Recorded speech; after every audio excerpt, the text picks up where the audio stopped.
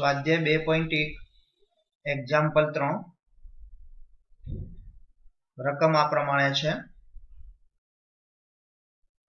જો ગણ જી બરાબર સેવન એટ જેમાં બે સભ્યો સેવન એટ છે, ગણ એચમાં આઈ ફોર ટુ છે, તો જી ક્રોસ એચ અને એચ ક્રોસ જી શોધવા છે.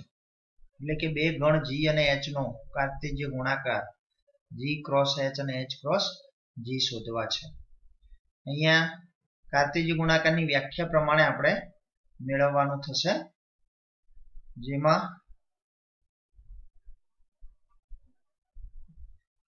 પહેલા જી ક્રોસ એચ શોધીએ.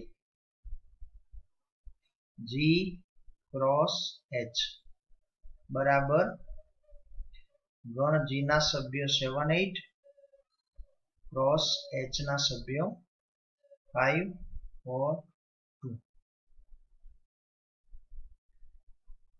equal to અહીંયા કાર્તિજીય ગુણાકાર પ્રમાણે પ્રથમ ઘટક જી નો આવશે અને બીજો ઘટક એચ નો આવશે. એટલે પહેલી ક્રમયુક્ત જોડ આપણને સેવન ફાઈવ મળશે. બીજી ક્રમયુક્ત જોડ સેવન ફોર મળશે. ત્રીજી સેવન ટુ મળશે. આ જ રીતે એટ ફાઈવ. Eight four. અને એટ ટુ.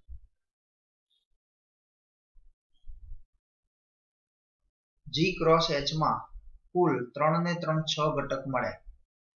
એકચ્યુઅલી જીમાં બે ઘટક છે એચમાં ત્રણ છે તો બે ગુણ્યા ત્રણ છ થાય જી ક્રોસ એચમાં આપણને છ ઘટક મળે આપણે જાણીએ છીએ.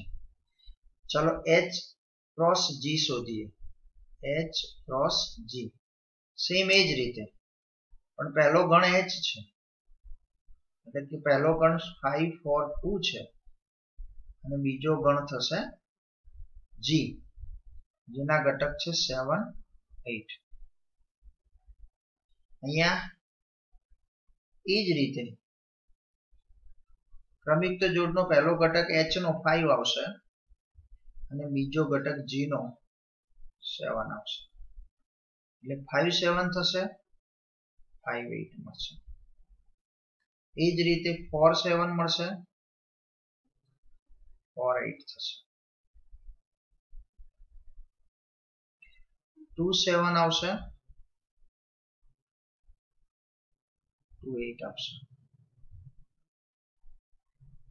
આ રીતે એચ ક્રોસ જી માં પણ છ ઘટક જ આવશે. અહીંયા આપણે આટલું જ ગણવાનું છે, પણ વધુમાં એક નોંધ કરીએ કે જી ક્રોસ એચ ના ઘટક અને એચ ક્રોસ જી ના ઘટક સમાન છે. તો તમે જોઈ શકો છો ત્યાં સેવન ફાઈવ છે, અહીંયા ફાઈવ સેવન છે. બે ક્રમયુક્ત જોડ છે, એટલે એ બંને સમાન નથી. સેવન ફોર અને ફોર સેવન એ પણ સમાન નથી.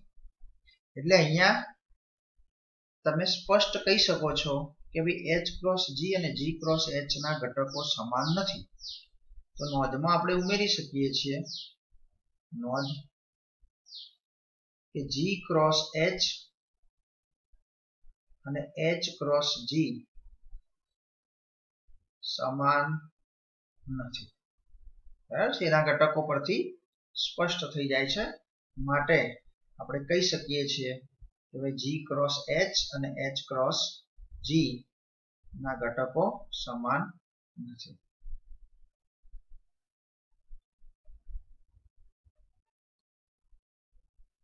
આગળ એક્ઝામ્પલ ચાર જોઈએ. જેની રકમ આ પ્રમાણે છે. નીચે આપેલા વિધાનોમાંથી કયું વિધાન સત્ય છે અને કયું વિધાન અસત્ય છે? તે જણાવો. તથા અસત્ય વિધાન સત્ય બને તે રીતે ફરીથી લખો. તમારે પહેલા તો નક્કી કરવું છે કે આપેલું વિધાન સત્ય છે કે અસત્ય? અને અસત્ય હોય તો તે સત્ય બને એ રીતે ફરીથી લખવાનું છે. અહીંયા ત્રણ વિધાનો આપ્યા છે. ક્રમિક આપણે એક એક વિધાન લઈએ. પહેલું વિધાન લઈએ. આમ તો તમે વિધાન જુઓ તો એમાં બે ગણ પી અને ક્યુ આપ્યા છે. પીમાં બે સભ્ય છે ક્યુમાં પણ બે સભ્યો છે. તો પી ક્રોસ ક્યુમાં આ રીતના સભ્યો મળે છે એવું વિધાનમાં લખ્યું છે. હવે આમ તો દેખીતું છે કે પીમાં બે સભ્યો છે ક્યુમાં પણ બે સભ્યો છે. તો પી ક્રોસ ક્યુમાં ચાર સભ્યો આવવા જોઈએ. જ્યારે અહીંયા પી ક્રોસ ક્યુમાં બે જ સભ્યો છે, એટલે વિધાન સ્પષ્ટ છે કે અસત્ય છે. તો પહેલું વિધાન આપેલ વિધાન અસત્ય છે.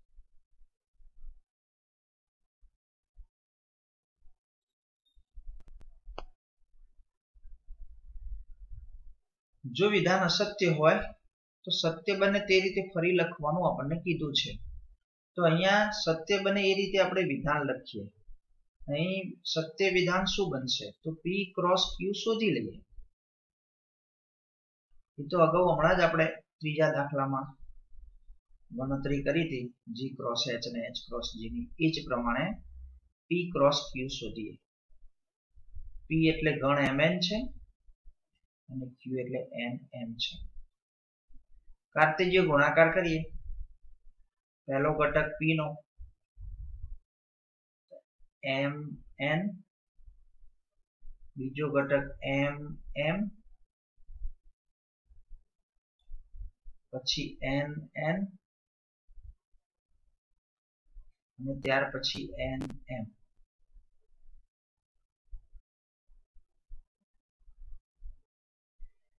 અસત્ય વિધાન લખ્યું. આપેલું વિધાન અસત્ય છે. તો સત્ય વિધાનમાં પી ક્રોસ ક્યુ તમને આટલા મળશે. બીજું વિધાન જોઈએ. જો એ અને બી અરિક્ત ગણો હોય, તો જ્યાં x belongs to A y belongs to B હોય, તેવી તમામ ક્રમયુક્ત જોડો એક્સ વાયથી બનતો અરિક્ત ગણ એ ક્રોસ બી છે. આમ તો એ ક્રોસ બી ની વ્યાખ્યા પરથી તમે કહી શકો છો કે વિધાન સત્ય જ છે. તમને જે વિધાન આપ્યું છે એમાં લખ્યું છે કે ભાઈ એક્સ વાયથી બનતો ક્રમયુક્ત જોડો એક્સ વાયથી બનતો અરિક્ત ગણ ઈ ક્રોસ બી તો એ ક્રોસ બી માં આપણે ક્રમયુક્ત જોડો એક્સ વાય આવે, જેમાં x belongs to A y belongs to B જ આવે. એટલે આપણે કહી શકીએ છીએ કે વિધાન સત્ય છે. આપેલ વિધાન સત્ય છે.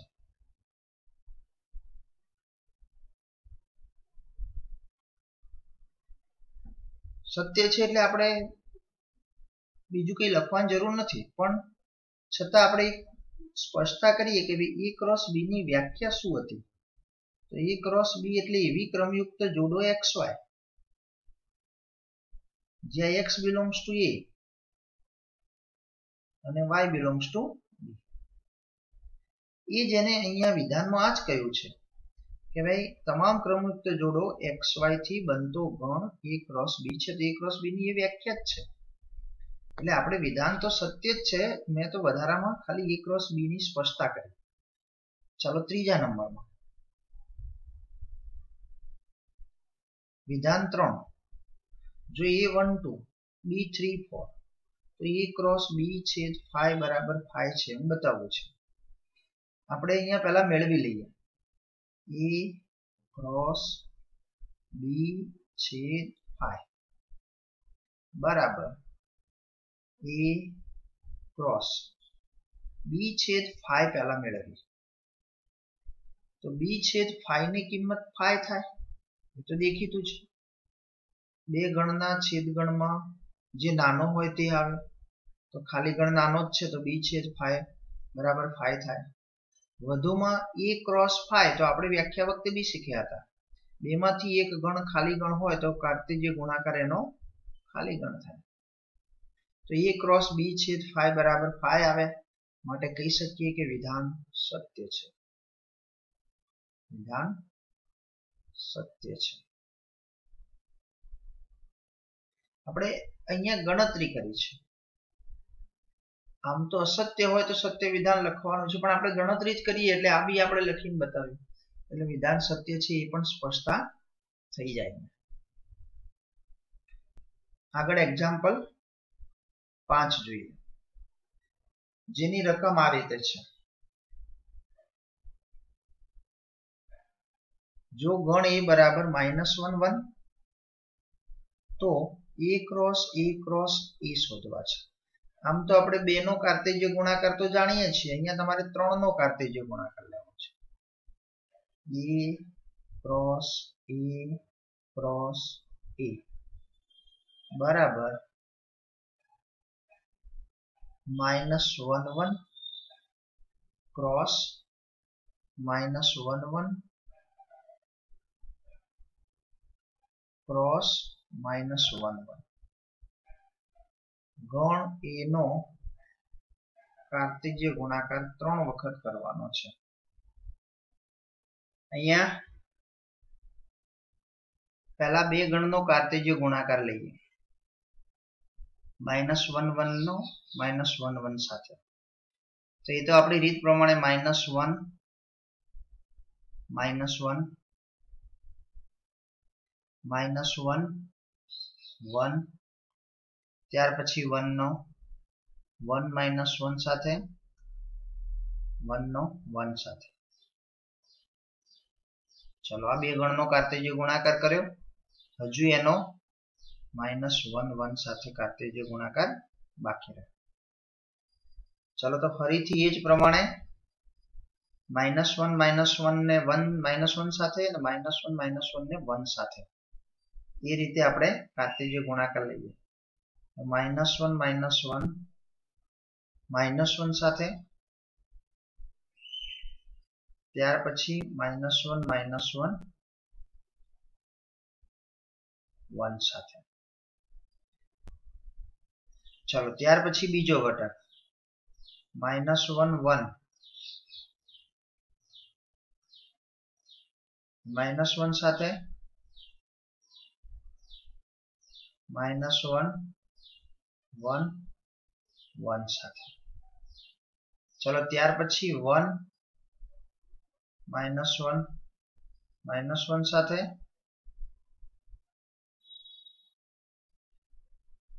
વન, માઇનસ વન વન સાથે.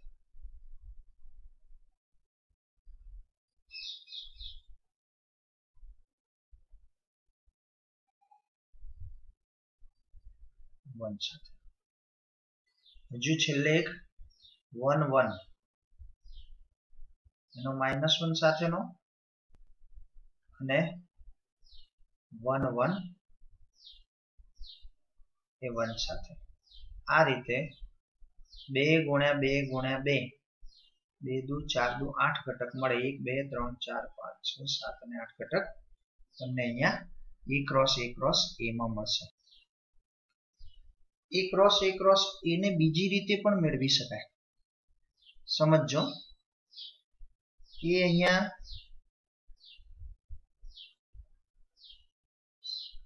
આ પ્રમાણે માઇનસ વન અને વન ગણ એના સભ્યો માઇનસ વન અને વન આ માઇનસ વન નો માઇનસ વન વન સાથેનો ગુણાકાર, કાર્તિજ્ય ગુણાકાર લઈએ તો એમાં માઇનસ વન અને વન થાય. ફરી પાછો એનો આની સાથે કાર્તિજ્ય ગુણાકાર. એટલે એ પણ તમને ફરીથી માઇનસ વન વન મળે. આમાં પણ માઇનસ વન અહીંયા વન મળે. ત્યાર પછી વન એમાં માઇનસ વન વન ફરી પાછા માઇનસ વનના કાર્તિજ્ય ગુણાકાર. માઇનસ વન વન સાથે.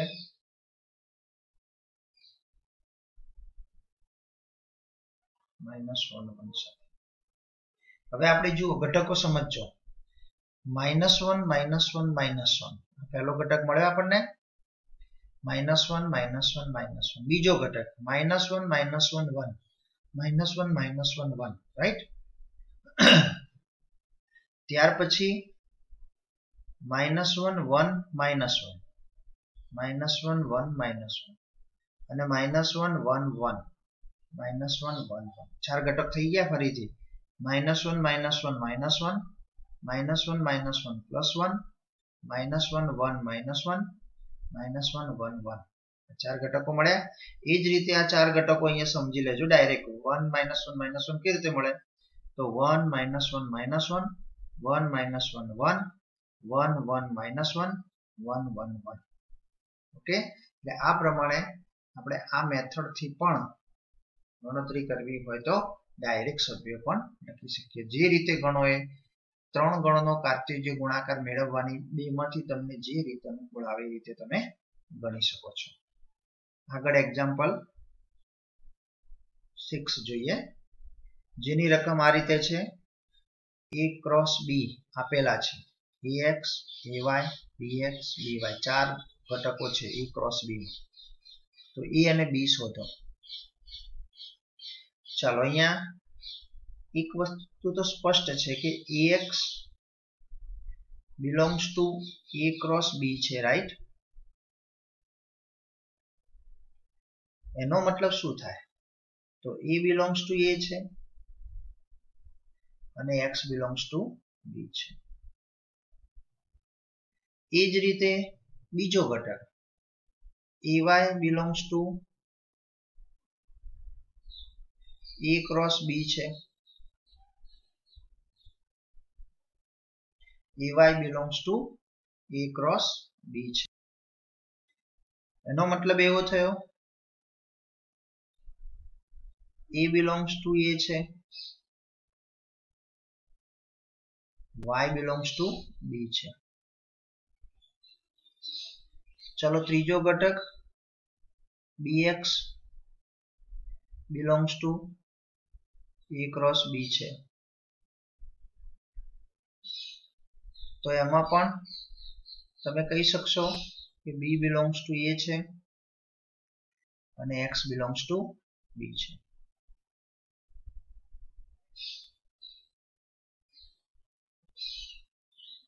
હજુ એક ઘટક છે. B y b y belongs to a cross b છે. તો એનો મતલબ એ થયો કે બી બિલોંગ્સ ટુ એ છે અને વાય બિલોંગ્સ ટુ બી છે. તમે જોઈ શકો છો ગણ એમાં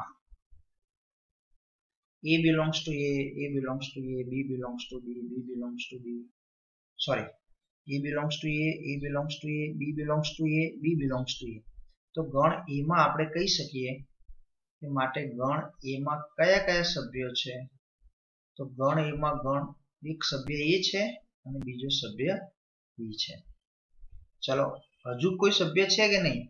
એ પછી આપણે વિચારીએ. ચલો, ગણ બી માં પહેલા લખીએ. કે ભાઈ આમાં કયા સભ્યો? તો એક્સ બિલોંગ્સ ટુ બી તો એક્સ આવ્યા. વાય બિલોંગ્સ ટુ બી તો વાય આવ્યા. પછી એક્સ બિલોંગ્સ ટુ બી આવી ગયા વાય બિલોંગ્સ ટુ બી આવી ગયા. ચલો, ગણ બી માં આ રીતે બે સભ્યો મળ્યા. હજુ બીજા કોઈ સભ્યો બાકી છે કે કેમ? તો તમે જોઈ શકો છો, આપણે એક વસ્તુની નોંધ કરીએ. Number of A cross B કેટલા? Number of A cross B માં કુલ સભ્યો કેટલા છે? Number of A cross B માં કુલ સભ્યો ચાર છે. એનો મતલબ કે ગણ એમાં નંબર ઓફ એ ગણ એમાં સભ્યોની સંખ્યા અને નંબર ઓફ બી ગણ બી માં સભ્યોની સંખ્યાનો ગુણાકાર ચાર છે. ચાર છે એટલે કાં તો ચાર ગુણ્યા એક હોય. એક ગુણ્યા ચાર હોય અથવા બે ગુણ્યા બે પણ હોઈ શકે. એટલે અહીંયા શક્યતાઓ આપણે જોઈ શકીએ છીએ. એક ગુણ્યા ચાર છે અથવા બે ગુણ્યા બે છે. તો એનો મતલબ ચાર સભ્યો તો ગણ એમાં છે જ નહીં. કારણ કે જો ચાર હોય તો બી માં એક હોય, પણ બી માં તો બે છે. એ રીતે એમાં એક હોય તો બી માં ચાર હોય. તો આ શક્યતા નથી. તો આ શક્યતા જ રહી ને, ગણ એમાં બે છે ને ગણ બી માં પણ બે છે. તો ગણ એમાં બે મળી ગયા, ગણ બી માં પણ બે મળી ગયા. તો અહીંયા ગણ એ ના અને બી ના સભ્યોની, સભ્યો સ્પષ્ટ રીતે આપણને મળી જાય. કેટલીક વાર આના સભ્યો પરથી, એ ક્રોસ બીના સભ્યો પરથી ગણ એ અને બીના સભ્યો તો મળે જ, પણ વધુમાં કુલ સભ્યોને આધારે એના દરેકમાં કેટલા સભ્યો છે એ પણ આના આધારે સ્પષ્ટ કરી શકાય. અહીં એક્ઝામ્પલ છ માં આપણે ગણ એ અને બી ના સભ્યો શોધી લીધા.